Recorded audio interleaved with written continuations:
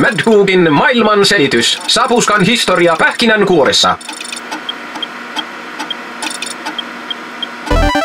Homo sapiens elää melkein 200 000 vuotta pelkällä riistalla ja kasviksilla. Sitten keksitään viljely ja lypsäminen ja juusto. Ihmisen ruokavalio alkaa muuttua radikaalisti. Tulevat sokeri, makkara, nuudelit, jogurtti, kaljakin luojan kiitos, mausteet, kahvi, tupakka, valkoinen vilja.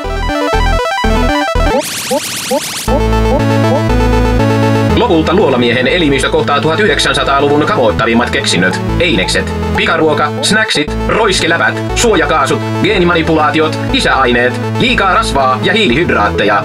Friteeratut Mars-patukat. 2000-luku. Homo sapiens ei enää syö pysyäkseen hengissä ja terveenä, vaan väärennetty ruoka tappaa nauttiansa varmemmin kuin koskaan aikaisemmin.